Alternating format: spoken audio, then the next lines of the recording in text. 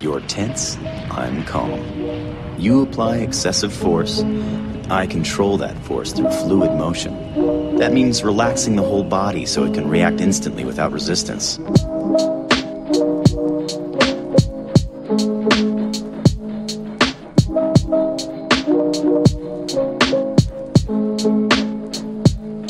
Now, without thought, do you see now? It means becoming like clear water.